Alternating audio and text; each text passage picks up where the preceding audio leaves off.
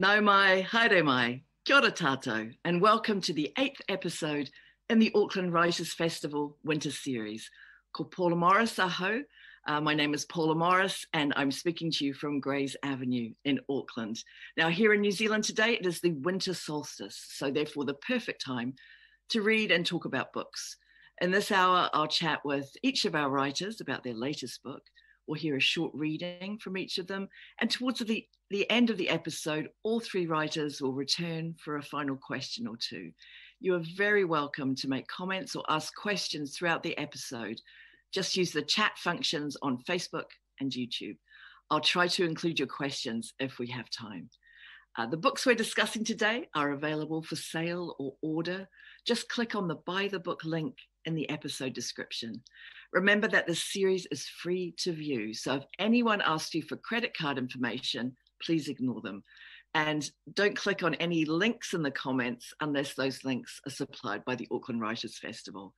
Uh, thanks as ever to our generous technical partner, Auckland Live, and to Copyright Licensing New Zealand for their support in making this series possible. Now, let us welcome our three writers. Uh, joining us from Wellington, Philippa Swan, author of the novel The Night of All Souls. Kia ora, Philippa. Uh, also in Wellington, though in a, a, colder part of Wellington, because it has its microclimates, as we all know, the poet uh, Freya Daly Sadgrove. Uh, she's here to talk about her debut collection, Head Girl. Tēnā koe, Freya. Tēnā koe. And zooming in from Virginia, where it's very hot in the afternoon, the novelist Helon Habila discussing his new book, Travellers. Kia ora. Hello, Helon. Hello. Now, Freya and Helon, please sit tight. We will magically disappear you, and I look forward to talking to you in just a moment. Our first guest today is Philippa Swan. Uh, Philippa trained as a landscape architect a background that informed her first book, Life and Death in a Small City Garden, and subsequent work as a freelance writer. Her new novel, The Night of All Souls, is a reimagining of the life and afterlife of the novelist Edith Wharton, author of The Age of Innocence, among other things, and another writer who is also passionate about gardens and their design. The book has been described as a TARDIS of a novel, stories within stories, memories and admissions. And within all this, a contemporary novella that a long dead Edith Wharton reads aloud to the ghosts of her past. And the big question the novel asks is Are our secrets ever safe? Kia ora and welcome, Philippa. Kia ora. Now, Philippa, it is almost 20 years since you published Life and Death in a Small City Garden to much critical acclaim. What lured you over to the dark arts of fiction writing? Uh, it was probably not a good idea monetarily, but um, I don't know. I think I I became far more interested. I used to write a lot about gardens and design and people and, and spaces, and I just became more and more interested in the people, and that led me to fiction somehow. Now, Edith Wharton, the great American novelist from the early 20th century, is your main character here. My own introduction to reading her work was to read The House of Mirth, which was her first real bestseller, wasn't it, um, from 1905. I was a student when I read it, and I was in awe of her sharp eye and her wit, mm. um, and also the darkness of the of the subject. What drew you to Wharton as a reader and then as a writer? Um, definitely, The House of Mirth, I think, is kind of Edith's gateway drug. There's no doubt. It's it's the perfect book to start with because it's it's it's it's funny, it's sharp, it's acerbic, it's it's it, it dissects. She dissects kind of societies, um, almost like an anthropologist. Um, it, it's a wonderful place to start. So for a while, I just kept with the House of Mirth. It was one of those books I kind of read once a year, maybe, because it was my favorite book. And then I started reading other books. But I never really thought about Edith as a person. Um, I just kept reading her. And I think if I if I think back now, I probably had this image in my mind of maybe a character in, I don't know if you've seen the the um, the movie The Age of Innocence. But I think I kind of had this vision of her as sort of shrouded in black and very imperious and austere, and because I knew she came from a very wealthy, privileged background, and I thought she'd be quite um, a, a, very um, unsympathetic kind of person. I, I, didn't really like the idea of her. And then Hermione Lee wrote a biography on her. I think it was in the early 2000s that I read. and I just couldn't believe it. Edith Wharton was this incredibly amazing woman. She's fierce and passionate and proud and headstrong and very, very independent. And I thought, what an amazing woman. I would love to write about her. And also her, her life story was incredible. And I thought, how could I not have known this, being such a big fan of her writing? And how come other people don't know about this amazing story of her life? And in fact, many Auckland Writers Festival uh, viewers will be familiar with the Hermione Lee biography you mentioned. Hermione Lee was a guest at the festival a few years ago. She was also my dissertation supervisor for my PhD, but that is another story. Now, as you say, Wharton seemed to have this very conventional youth, very privileged, living in Europe, living in New York, in Newport, Rhode Island. She made a very conventional marriage. She didn't become an, uh, an author till she was in middle age. Now, her marriage to Teddy Wharton was unhappy, and he is a figure who appears in your book, along with her great friends Henry James and Walter Berry, and also her incredibly caddish lover, Morton Fullerton. Now, what she knows and doesn't know about Fullerton is central to your story. Mm. And I wonder if we could talk about this a bit without giving anything away. Could you expand on the importance of this, uh, this essential relationship for her in your book? Yeah, there's a, on, on, on the back of the book is a quote of a, a, a um, I won't say who wrote it, but it's the letters survive and everything survives.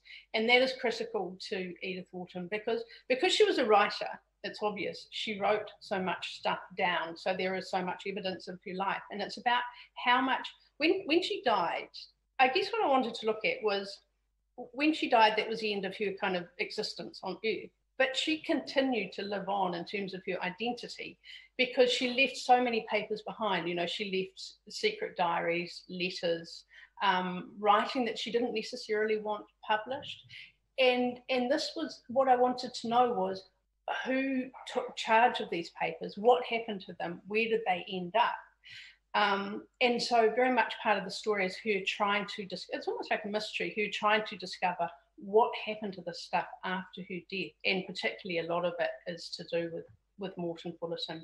And she felt when she died, I think, that that was the end of things, but it, it wasn't. And and the story of where her papers and the evidence of, you know, certain parts of her life, what happened to those papers to come into the public realm over time is really interesting story in itself.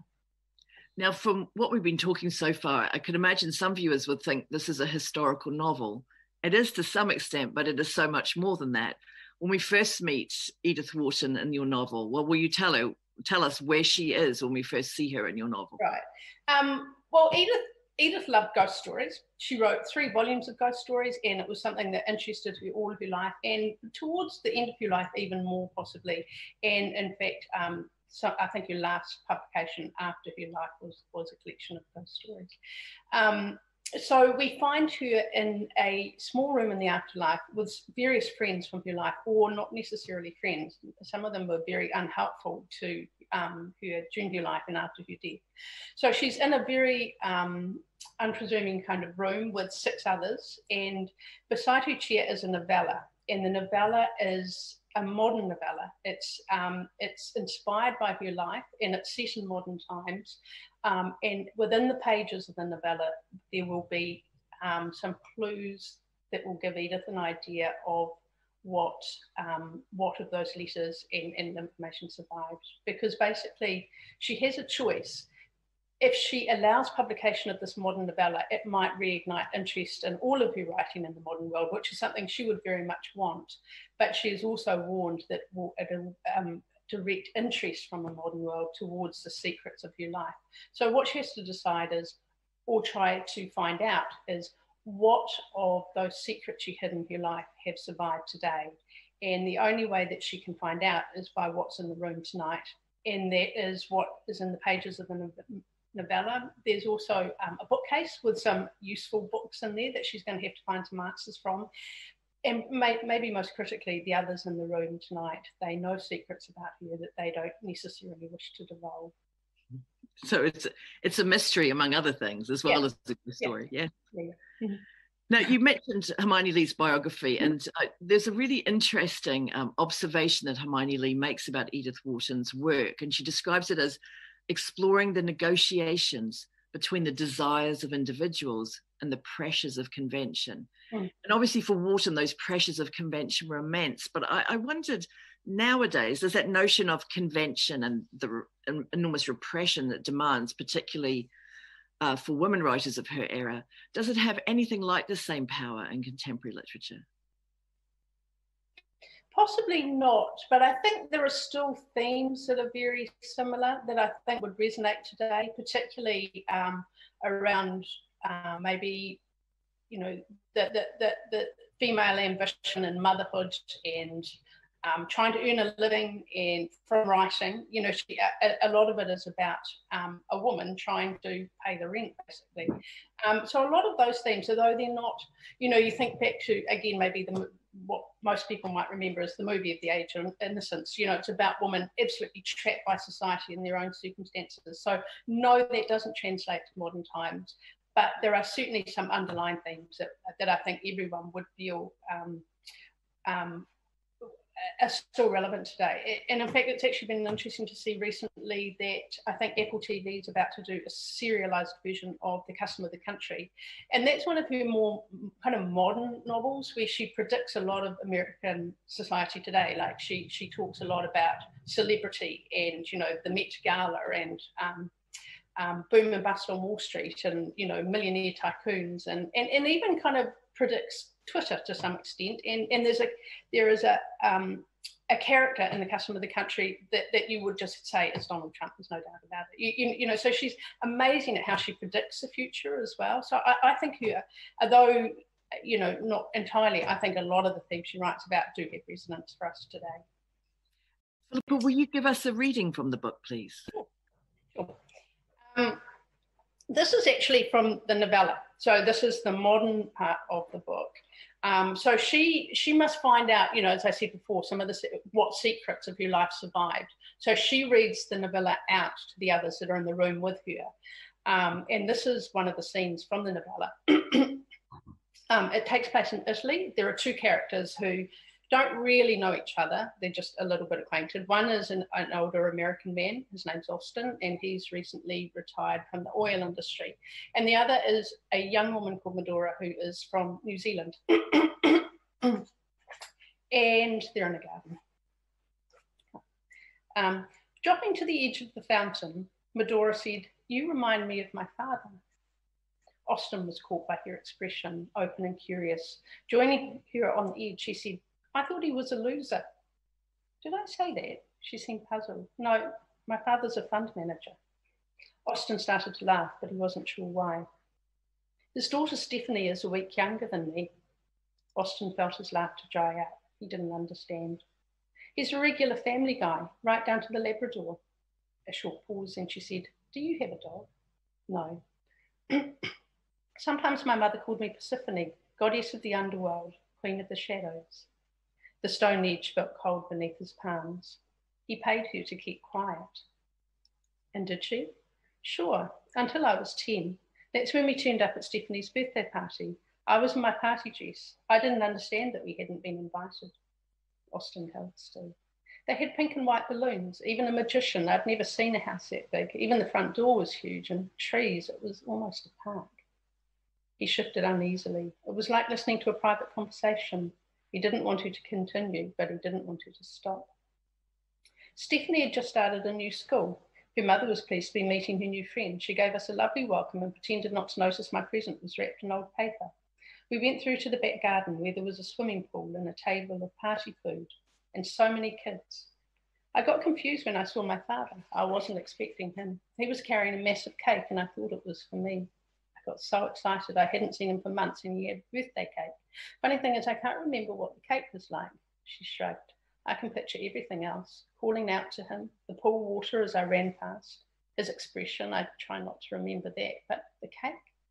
Sometimes I think it was a princess cake, but that's just a guess. Whenever I look at it directly, the cake sort of explodes. She kept her focus on the fountain spray. So tell me about being an environmental engineer.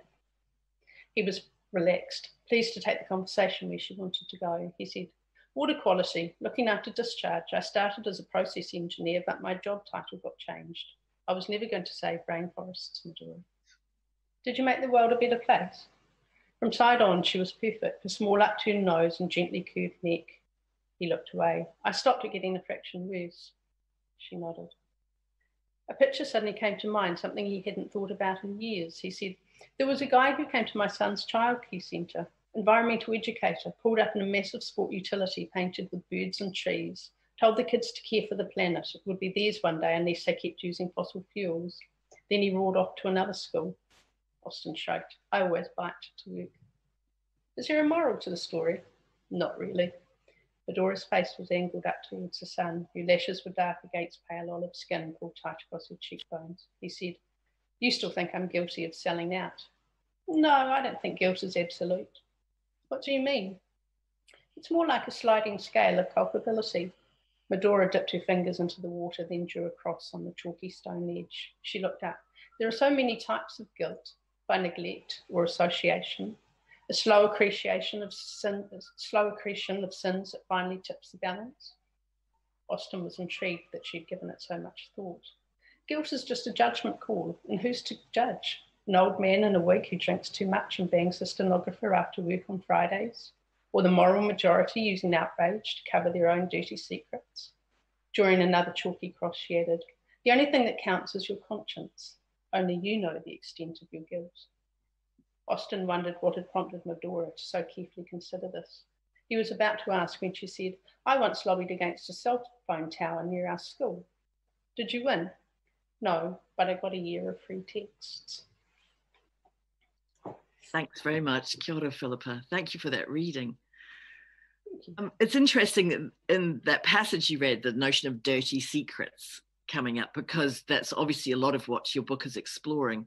Mm. And I wondered about Wharton, who was such a grande dame in many ways and created these beautiful homes for herself in Massachusetts and in France, had her big staff, um, you know, was really obsessed with garden design and interior design. And I wonder, do you think she was trying to control her environment in a way when so much in her own private life was very chaotic and unhappy? Mm-hmm. Um, the thing that's fascinating about her is she's a woman of contradictions. Um, so I think even when you think about her houses and her gardens, sometimes she'd have house guests coming to stay and they'd da. so her day was literally divided into two halves so she would spend the morning sometimes in bed just scribbling madly just just writing all the stuff would pour out of her she wrote 40 she didn't she wasn't published when she was 40 and she wrote 40 books. So, you know, she was incredibly prolific and she would just spend all morning in this mad kind of just productive panic, just creating paper everywhere. And, and then suddenly, midday, she gets get dressed up in her finery, go out into her beautiful house, her beautiful gardens with all her beautiful friends, and spend the rest of the day being this, you know, this perfect woman in this perfect house and perfect garden and stuff. But the whole morning had just been spent writing about, you, you know, we tend to think she just writes about manners and, and things, but, you know, some of it's really gritty and, and, and really um, exploring the dark side of life.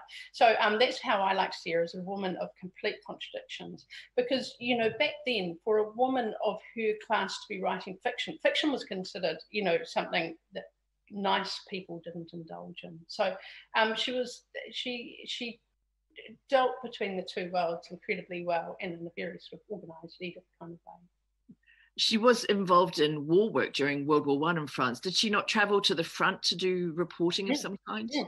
Um, the war was um, brought out some of the best and worst in her. She was, she became a huge organizer, and she she um, won a number of medals later in recognition of her work.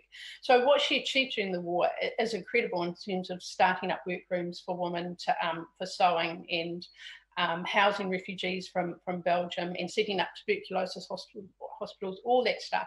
But what she really loved, of course, was writing. So she went to the front line, I think it was six trips. Um, again, a very Edith style, you know, big car with a chauffeur, of course, um, and her friend Walter Berry. But, you know, what she saw at the front line and what she recorded is incredibly valuable for us today. And we, and we never think of her as a war correspondent, but, but that's what she was. She was incredibly brave. very this is really fascinating and i would happily talk to you for longer but we have to move on in a moment um, I, please join us again at the at the end of the session so we can talk some more and i encourage uh, listeners and viewers if you have any specific questions for Philippa, please send them in because this is really very interesting and a very enjoyable and novel way of uh, approaching her story and the secrets she left behind. Kia ora, Philippa. Okay, thank you. Our next guest today is writer and performer Freya Daly Sadgrove. Freya's debut poetry collection is called Head Girl, and she really was a head girl, so let no one dispute her credentials. She said that the impulse to stand on stage and give rousing speeches to girls in blazers is probably the exact same urge as the urge to write poetry. The book's dedication, which is for my enemies, signals the spirit, subversion, and wits of Freya's work like Hera Lindsay Bird, who describes Freya as, unfortunately, the absolute best. She dissects and interrogates the experience of being a young woman unafraid to be profane. Uh, she is a graduate of Victoria University of Wellington. And I just wanted to mention briefly that during the course of our discussion and Freya's reading, there may be some material that is not suitable for children. So please uh, use discretion. Um, kia ora, Freya. Kia ora maybe um, not suitable for children could be the title of your next collection. Yeah, it's um. I have a, a couple of girls who I um, who I babysit sometimes and who I've known for about ten years, um, and they're very excited for me to publish a book, but um, they're not allowed to read it until they're, I don't know, thirty. Thirty, I think that's probably a good age. Now, um, it's really interesting talking to you after discussing Edith Wharton with with Philippa because you're working away as a dance as well between revelation and positioning. And I know you've questioned the term confessional because, as you said, maybe every choice to reveal something very personal about myself in a poem just obscures something else. And I wondered if you could talk about how creating a collection like yours is some kind of a dance between your private and public worlds. Hmm. Um, yeah, I it's very strange for me to read it now because it's very revealing of um, a, a, specific time in my life um, that is I'm quite separate from now in many ways. Um, but oh yeah, it's it, it's funny to me now to read it because it does it does say some things, some very quite intense things about my life that I don't know if I have the same um, if I would have the same approach now. Um, but it felt like what I had to do. Um, it, it felt like what I had to write about. Um, and uh, yeah, I mean, I I don't like I like telling the truth, and I also don't like lying. And I think they're kind of mm, they're different things. Does that make sense? I don't know. I absolutely. Yeah. I, I didn't say everything. Sorry, go, go ahead. I, I just I, I didn't say I didn't say everything in the book, but I did say like there was like I guess a lot to say. Um and uh yeah, I did I didn't I didn't say everything uh, that was happening during that time, but um it's uh there's a lot of like things some a lot of uh, really what to how do i say it? It's um yeah. Let's hmm. i don't know how to keep going with that to be honest. That's right. That's okay. I'm, I'm interested in you as someone who's also a, a performer and involved in the world of theatre as well as writing poetry. And I wondered about you performing your poetry live and in public how is that important to your kaupapa as a writer and how does it affect your voice on the page? Are you conscious when you're writing of it being something you will perform? It's not something that people will only engage with on the page. Yeah, um, I guess it's been a really big thing with this book because I've, I did the MA um, in 2014 and I only really started sort of doing poetry readings around then. So I'd never really I you always are concerned with like rhythm and and sound when you're writing poetry. So always when I'm writing, I have to read things aloud to myself um, anyway. But definitely with this collection, um, I had started to get somewhere in terms of um, kind of like comic timing. um, or not just comic timing, but like an an idea of um, of of delivery, um, which is a big thing, obviously in theatre, um, how you how you deliver a script or whatever.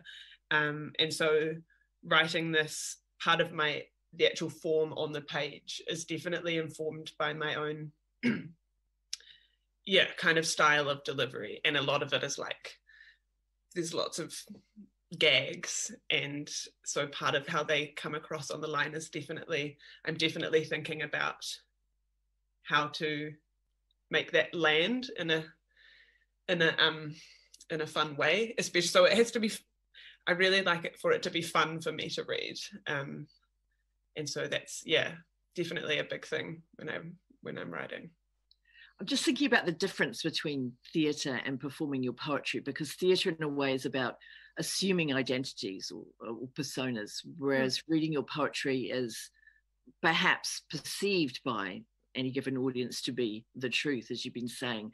But i wonder if head girl itself is is a persona that you adopt when you're reading from this collection.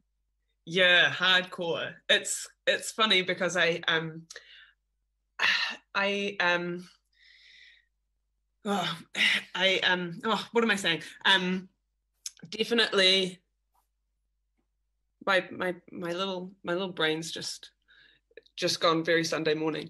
Um um sorry can we can you just that we were in theatre can you help me again yeah, sure because we I mean, your book's called Head Girl, and as I said, you were a head girl, but it's also like a persona or a character. Yeah, yeah. You're inhabiting in a way, isn't it? Yeah. So, um, de- yeah. So when I do a reading and when I watch poetry readings, I always um want to um I want to like stop myself going into a like a poem voice or whatever, you know, because it's you can't, it's very hard to avoid. Everyone has a has a special poem voice and I always get a little bit turned off by it. And I know that I do it and it's very hard to avoid, but definitely with Head Girl, it, it it's almost like I'm trying to, even in the poems, trying to fight against um, becoming like too poemy. But then also Head Girl is definitely a persona of like being that kind of bolshy, um, rude, um, rejecting um, particular kind of poetic um, moods, I guess. Does that make sense? It's definitely. It's also funny when you say about theatre because I was thinking it made me think of um, about theatre being roles that you that you t- go into. Um, I remember uh, when I was doing theatre training, um, I don't know, about 10 years ago, I was very much um, of had this idea that oh like playing a character is this is such a relief because you get to not be yourself for a while. And when i was young i was i didn't really like being myself. And so i thought that theatre was like an escape. But um, my director at the time Willem Wassenaar um, said to me this thing that really changed my attitude which was you're not escaping yourself in theatre you're finding a new part of yourself um, that is there's there's truth in it. So then, yeah, I don't know. That definitely made me be like, oh, anything that I perform is already in me. Does that make sense? Like any character. it sounds kind of horrible, like method actory or something, but um, but there's just there's so much in a person that you can access in yourself to bring to the stage to be a persona. Um, yeah. Absolutely. I mean, I suppose, I mean, coming at it from a novelist point of view, it's it's what you are doing essentially in creating characters. You you're inhabiting each of them in turn. That yeah. they're not something that's external to you, really. Yeah. You, they come out at some level of your experience and your imagination. Now, I, I feel that we should move to the reading, but before you read a poem, um, I'll give my little warning again but you've been very open about having depression, seeing a therapist. I believe your therapist attended your book launch. Yeah. Um, and so you've written quite openly about that. Do you want to say anything about the poem you're going to read before you read it to us? Yeah, so um, it, it's a poem that deals with um, depression because a lot of a lot of the poems in the book do, um, and and sort of this particular poem is called Ah Real Depression. Um, it's about growing up, having growing up and dealing with depression. So there's a little bit of mention of um, suicide, but it's not intense um, in this particular poem. But it's it's you know heavy for some people. Um, and there's also I think one swear word, possibly more. Those are my warnings. Shall I shall I get into it? Please do. Okay. Okay. It's called Our Real Depression, which is a kind of gratuitous reference to a 90s Nickelodeon show called Our Real Monsters. okay. You know that feeling when you've just given birth to an abomination and then the midwife hands it to you like you're supposed to love it and fucking clean it for the rest of time? A gross baby has slunk out of me. I've had such a shock. It is my depression. God, it is so fugly. I can't even look at it. I get postnatal depression from birthing my first depression. Now I got two depressions on my hands and counting. Old people shake their heads and glare at me in the street. I don't even know how to masturbate yet. Look, in this backward country, I was not allowed to abort my depression okay they were like it'll be both character building and um, very hip in 10 years just don't tell anyone we said it but oh what a resilient girl i am how clever and resourceful how unfazed by my little predicament I am in my bedroom wrapping up my depressions in cellophane. I am carrying them around in all girls' high school like a cheap bouquet. So all the girls think it is my birthday. Ha, every single day they notice me, which I love. I love to be noticed. I love to be noticed by high schoolers. And they do not pause to question how I can have been born every single day of the year. No, I was naturally born, born to make my way in the world. I came out of the womb with a bindle over my shoulder. I reckon I am impressive at a young age. My CV on LinkedIn runs to 40 pages the list of awards and scholarships is very, very long. I reckon the panel of recruiters will marvel at my wealth of experience, but one or two of them have their doubts. Kevin's like, um, if you've had this many depressions, how can you still be, you know, alive?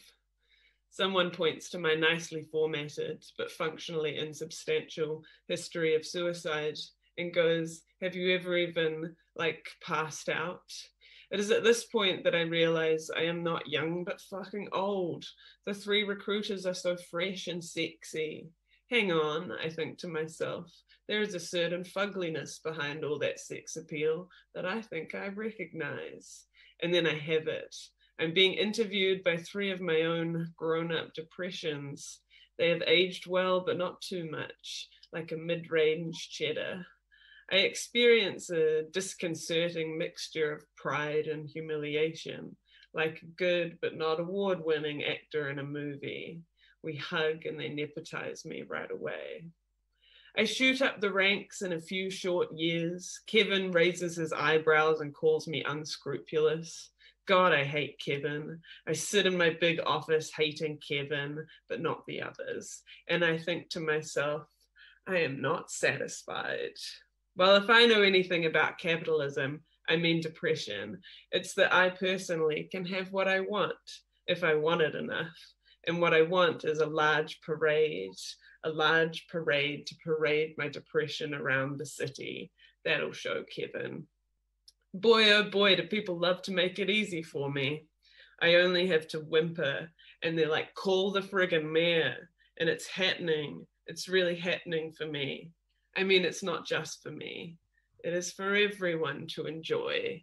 I boom through the loudspeakers, spreading my arms like a depressed eagle. I don't feel very IRL, but I do feel something. Afterwards, I go around each person on my float and personally request a pat on the back. I am a diva.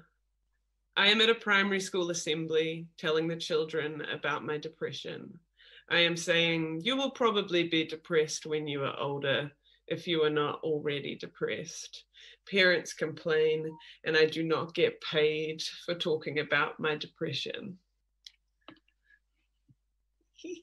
Thank you very much, Freya. Thanks so much for that.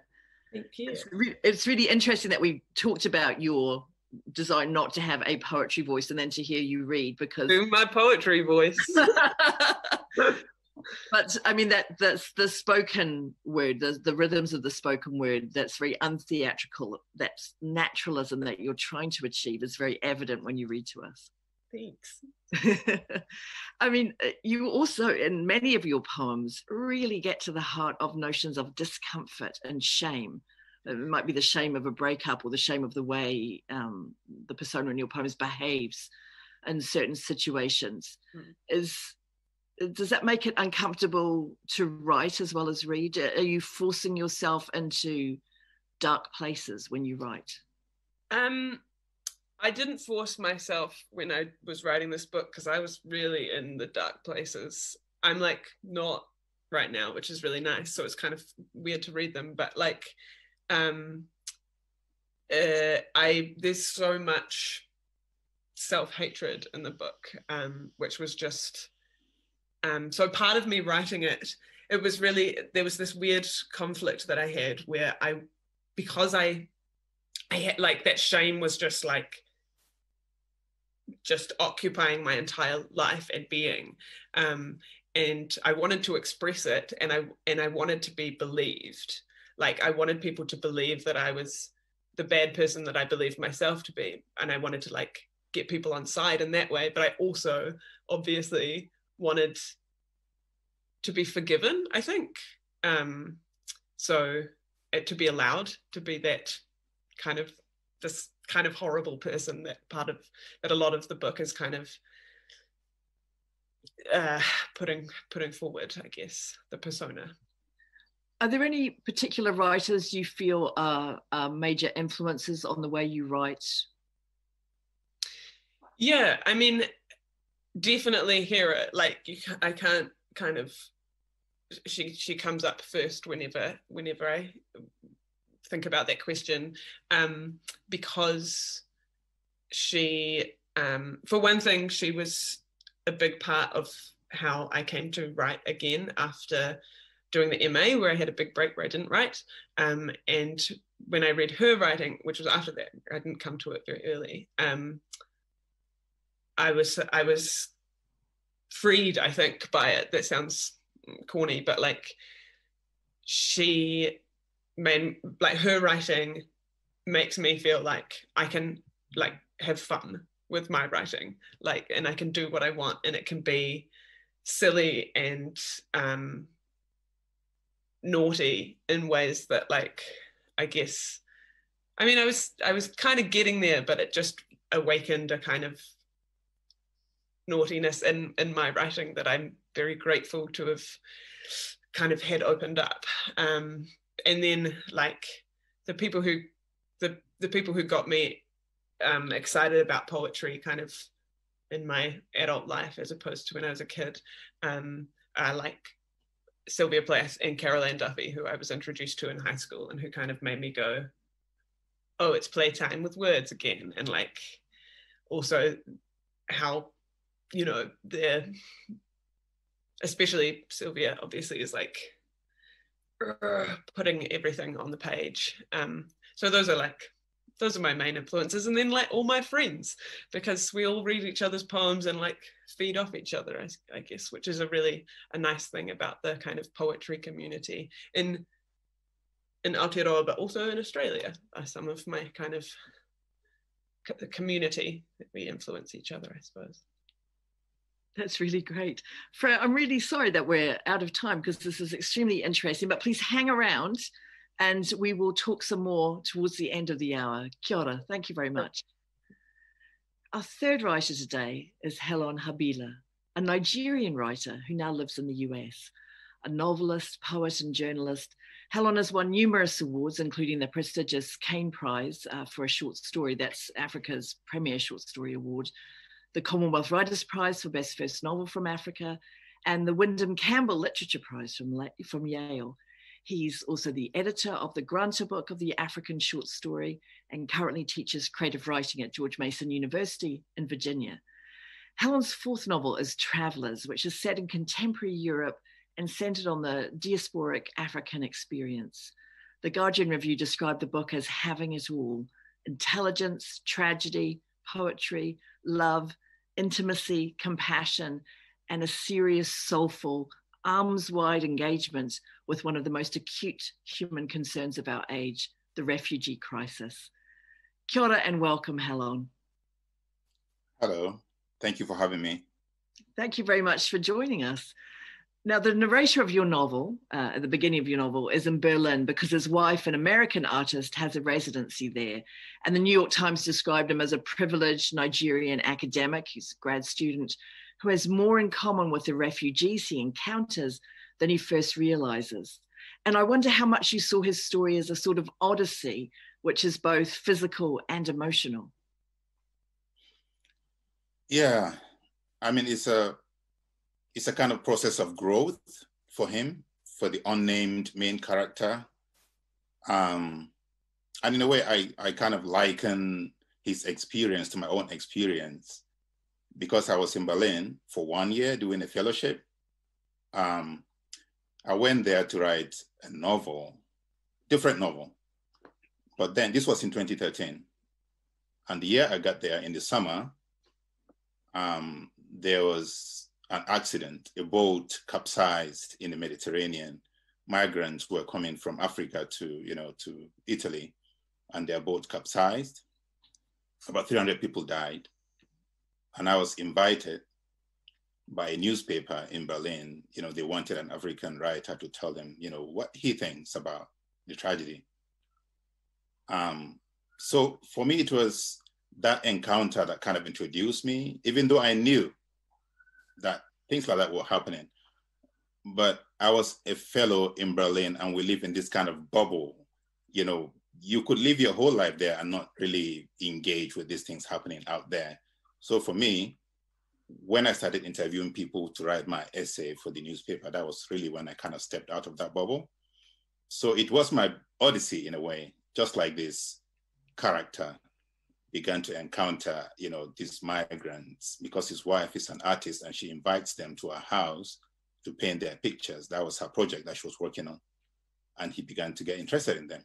And gradually he began to kind of move away from that bubble. And eventually he really is submerged, if you like, into their lives. And he realized that he has a lot in common with them than he has, you know, um, difference with them we learn in the novel um, of a place where many of the refugees live, and it's the place is called Heim, which sounds like home, but it has quite a different meaning for the refugees. And it made me think of that German concept of Heimat, you know, homeland. And I wondered what you thought about can outsiders ever really be at home in Europe? Can the African diaspora ever find a place in Germany, even in a very multicultural city like Berlin?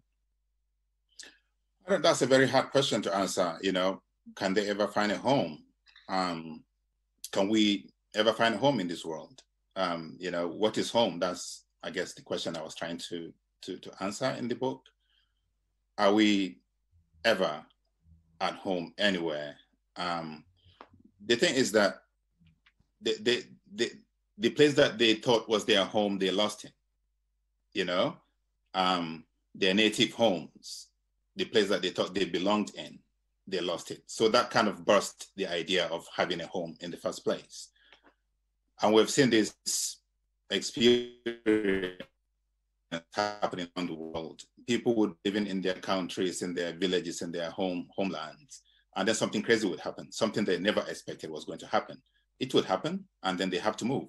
So there's always that kind of um, provisionality in the idea of home. It's always a provi- provisional place, you know, until we ultimately find, you know, wherever we think home is. Home could be anywhere. And I guess the point is about the impermanence of home. And all of us have to answer the question, you know, what is home to us? Um, I'm in America here. I'm an African in America, I guess, trying to find a home here. I left my home. And um, do I feel at home here? I don't know. Would these Africans, even if they are granted documents and they, they live there, would they ever feel at home? I don't know if it's always, um, if it's ever going to be home to them.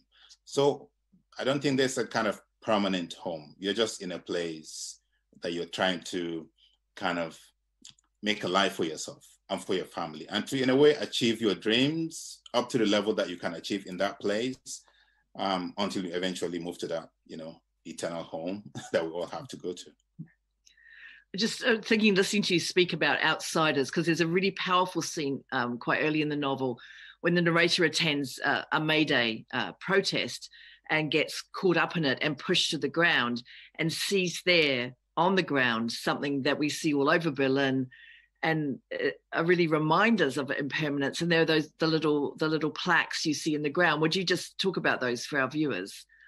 Those names that he reads, what they're about. Yeah, exactly, and that, that's um, that's a good point, um, and that links to the last question that you asked about the illusion of having a home. Um, so the little plaques that he see, the bronze plaques that you sometimes see in front of buildings in Berlin, are kind of memorializing the Jews that lived in those buildings and that were taken from their homes and transported to all the um, concentration camps. So these things were put there by some charity organizations, um, anti-Semitic organizations, and they're all over Berlin. And um, so my character falls down and he sees this this place and he begins to think about history and other things and how, you know, impermanent all these things are. So the idea of home for these Jews who lived in Germany and Europe for hundreds and hundreds and hundreds of years could be transported just in one day and taken to these places and told that they don't belong there and they're outsiders. And, you know, that underlines the whole thing we're talking about, about the illusion of, of home and belonging. Now, your narrator befriends someone called Mark, who is a um, Malawian film student. And we first meet Mark living in very precarious state financially and legally. And he's squatting in a church in in a neighborhood called Kreuzberg. And that immediately had resonance for me um, of a for another novel of outsiders, um, Christopher Isherwood's Goodbye to Berlin, because part of that is set in Kreuzberg as well. It's such a city that draws artists and the unconventional.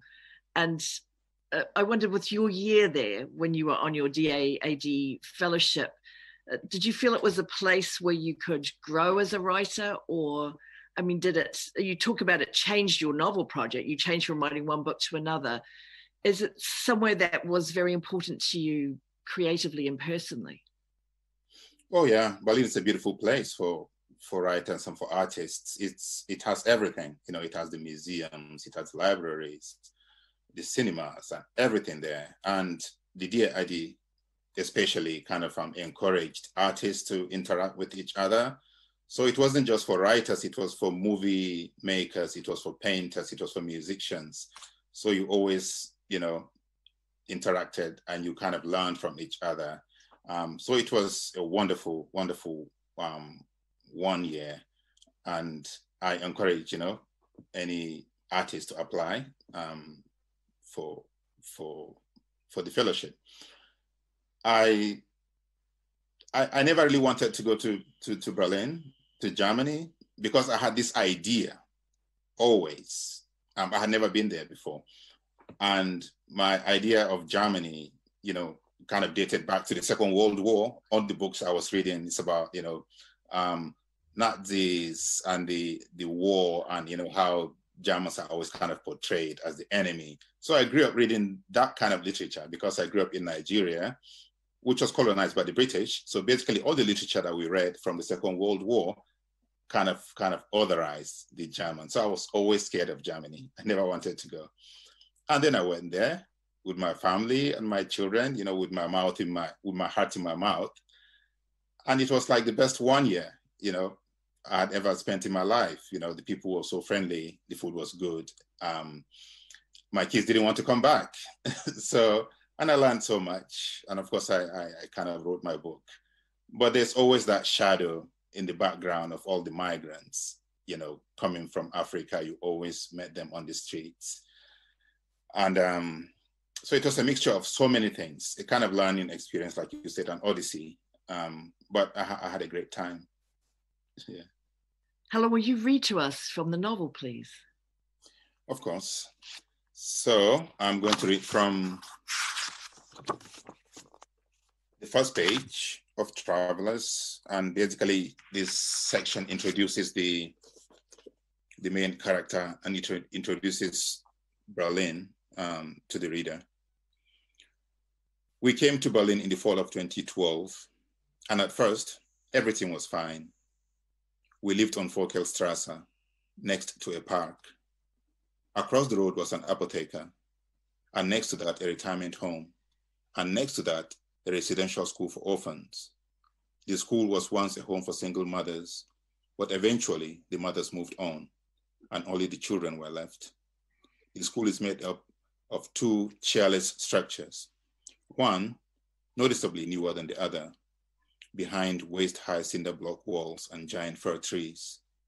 In the evenings, the children ran in the park, jumping on trampolines and kicking around balls, their voices cutting through the frigid air, clear as a bell ringing.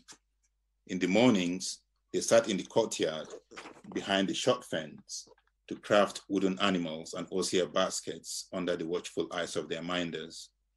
Once, out early with Gina, one of the boys, anywhere between the ages of eight and 10, sighted us and rushed to the low wall. He leaned over the top, almost vaulting over, his face lit up with smiles, all the while waving to us and shouting, Chocolada, Chocolada. I turned away, ignoring him. Gina stopped and waved back to him. Hello. How his eyes grew and grew in his tiny face. Surprise mingled with pleasure as he ran back to his mates. He repeated this whenever he saw us, and Gina always indulged him but I never got used to him. I never got used to the thin, eager voice and how the other children, about a dozen or so, stopped and raised their eerily identical blonde heads and blue eyes to watch him waving and calling Chocolada as if his life depended on it. I first met Mark when he came to the house with one of Gina's flyers in his hands. I'm here for this, he said, waving the yellow flyer it said Gina was working on a series of portraits she called Travelers, and she was looking for real migrants to sit for her. 50 euros a session to be paid for by the fellowship. I pointed him to the guest room she had converted into a studio. Soon, their voices carried to the living room, hers polite but firm, his questioning, arguing. He was being turned down and I could have told him not to press. Gina would never change her mind. Later, when I asked her why, she said he wasn't right and didn't elaborate. But I guessed he looked too young. His face was too smooth and lacking the character only time and experience brings. Last week, she had drawn a lady and her four-year-old daughter. I met the lady in the living room waiting for Gina to set up her easel, still wearing her outdoor coat an old woolen affair. And when I asked her if she wanted me to take the coat, she shook her head. I turned to the daughter. Did she want a drink?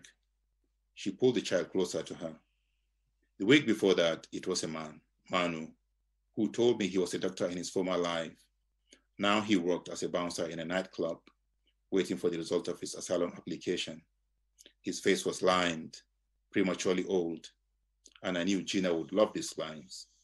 One of them, an eloquent, each one of them an eloquent testimony to what he had left behind, to the borders and rivers and deserts he had Berlin. She would also love the woman's hands that tightly clutched her daughter's arm. They were dry and scaly, the nails chipped, no doubt ruined while working in some hotel laundry room or as a scullery maid. I'll stop here. Thank you very much, Helon.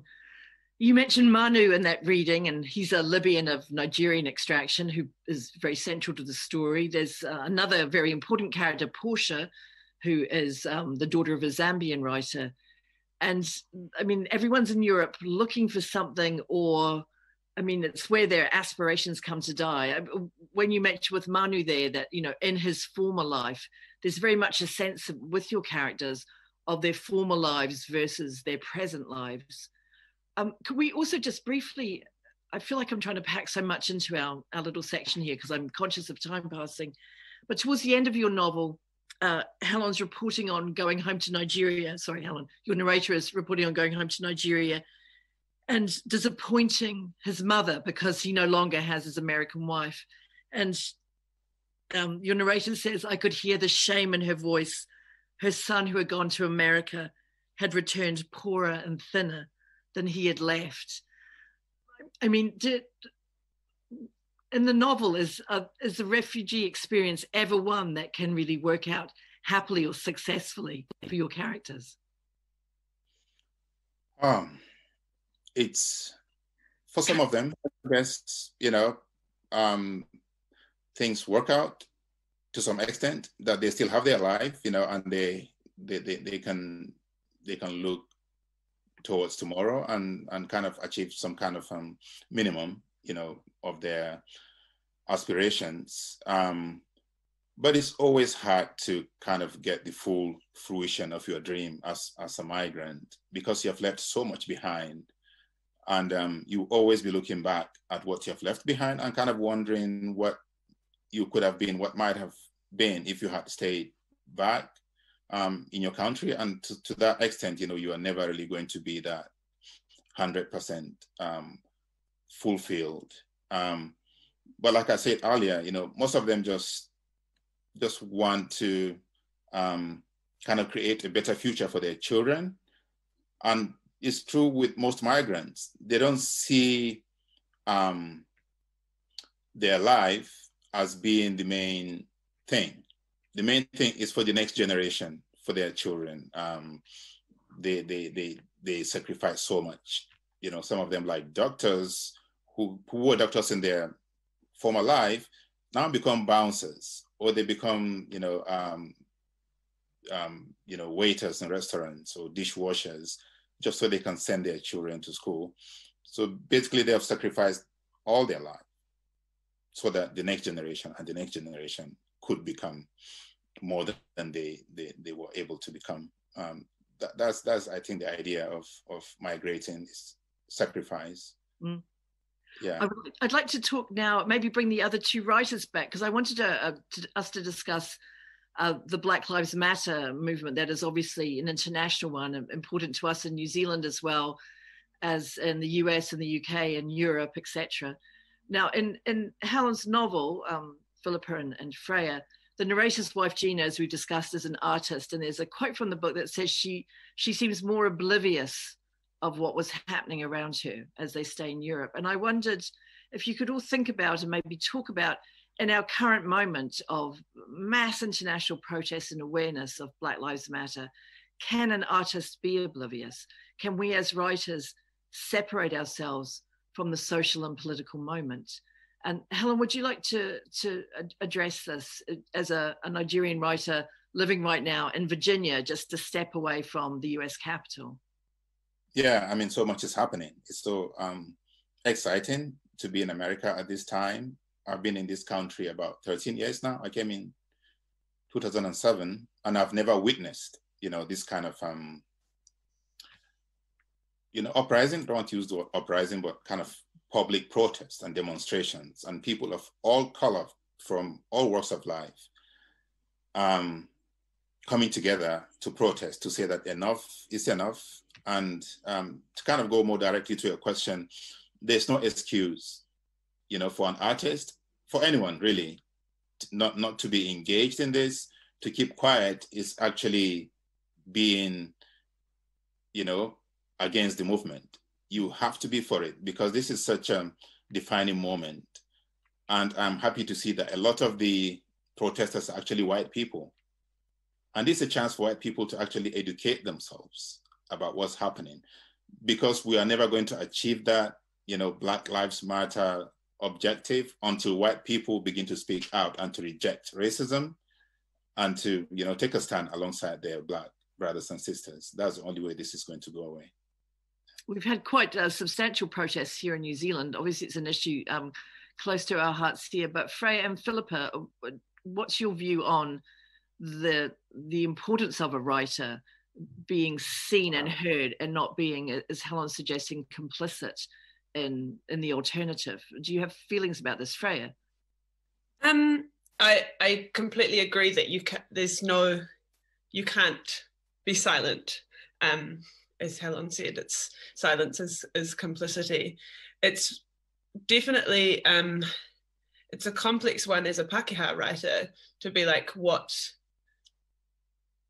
what can I add to a conversation? It's more about I don't know. My I'm finding at the moment that like um, I'm not writing poetry at the moment, but I am working on another project in it, and kind of the um, uh, I don't want to say moment because it's not a moment. It doesn't feel like something that is gonna die down. You know, this is this is the new this is where we are this is the direction we're heading in and in all of the projects that i'm working on at the moment it is present um and there's no yeah it, it's unignorable it's it's weird with poetry i guess because the kind of poetry that i write is so and has been so kind of self-centered um and i guess in a way i'm like a little bit um ready to put that kind of writing a little bit behind me. I don't know, it'll always be selfish in some ways, I guess, but like I'm much more kind of interested in looking out um, now. But yeah, it's also it's it's yeah also have to figure out when to shut up obviously. And that's hard sometimes as a writer. Um but it's a time for listening. That's that's where i'm at. Philippa what do you think? Oh, I think it's lovely when you said it's a time for listening. I think um, as a writer, you have to reflect what's going on in the world and what is around you. You can't ignore that. But for me, it's also slightly tied up with the whole pandemic. And we have these two opposing things going on. One where we're more connected to the world than we've ever been in terms of the internet and just constant media streaming. But at the other hand, we've got locked borders. We're completely isolated at the bottom of the world. And um, I like when Freya said it's time for listening because I personally have found I have not written in the last couple of months. I've, I've just been so overwhelmed. I can't, I can't write. I'm just trying to process.